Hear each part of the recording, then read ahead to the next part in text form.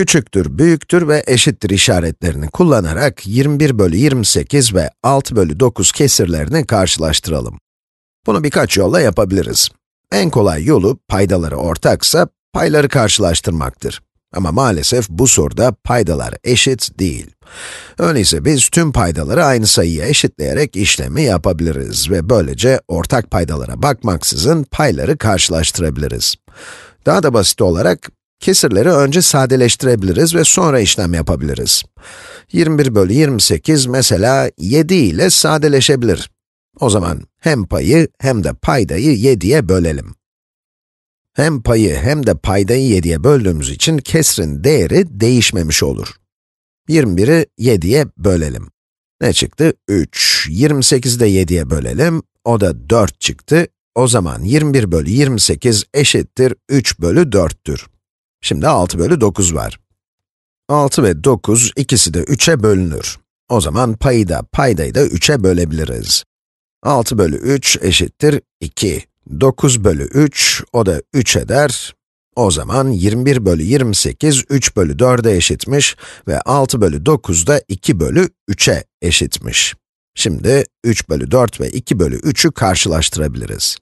Kesirleri sadeleştirdik çünkü 3 ve 4 için payda eşitlemek 28 ve 9 için yani büyük sayıları çarparak payda eşitlemekten daha kolay. Şimdi daha küçük sayılarımız var. 3 bölü 4 ve 2 bölü 3 için ortak paydayı 3 ve 4'ün ekoklarına bakarak bulabiliriz. Ekok. 3 ve 4 aralarında asaldır. Bu yüzden ekokları 3 ve 4'ün çarpımına eşit olacak. 3 bölü 4 eşittir x bölü 12 ve 2 bölü 3, y bölü 12 diyelim. 12'yi sadece 3 ve 4'ü çarparak bulduk. Bunu anlamanın başka bir yolu daha var.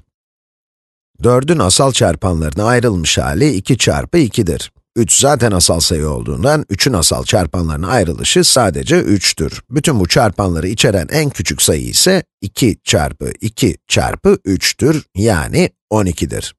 4'ü 3 ile çarparak 12'yi bulduk. Genişletirken tabii payı da 3 ile çarpmalıyız. 3 bölü 3, 9. 3'ü 12'ye eşitlemek için paydayı 4 ile çarparız. Bu arada payı da 4 ile çarpmamız gerekiyor. 4 çarpı 2, 8, yani 21 bölü 8, 3 bölü 4'e eşit. O da eşittir 9 bölü 12'dir. Ve 6 bölü 9 da 2 bölü 3'e eşitti. O da eşittir 8 bölü 12. Şimdi kesirleri karşılaştırabiliriz çünkü paydalar eşit. O zaman yapmamız gereken paylara bakmak. Biliyoruz ki 9, 8'den büyüktür. O zaman 21 bölü 28 büyüktür 6 bölü 9'dur. Ve sonucu bulduk. Şimdi diğer yola gelelim. Sadece eğlence için kesirleri sadeleştirmeden de payda eşitleyebiliriz. Eğer sadeleştirme yapmazsak 28 ve 9'un ekoklarını bulmamız gerekiyor.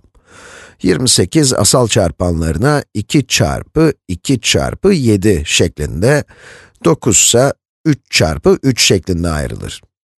Öyleyse bu iki sayının ekoku 2 çarpı 2 çarpı 3 çarpı 3 çarpı 7'yi içeren en küçük sayıdır, yani 252'dir. Şimdi paydaları 252 olacak şekilde genişletelim. 28'i ne ile çarpmalıyız ki 252 olsun? 9 ile çarparsak olur. Tabi bu arada payı da genişletmek gerekiyor. 21'i de 9 ile çarpacağız ve 189 çıkacak. 9'u 252 yapmak için ise 28 ile çarpmamız gerekiyor. Payı da 28 ile çarpalım. Ne çıkacak? 6 çarpı 28 eşittir 168 çıktı. Şimdi paydalara eşit olan kesirlerimizin paylarını karşılaştırabiliriz. 189 büyüktür 168 olduğuna göre 21 bölü 28 6 bölü 9'dan büyüktür.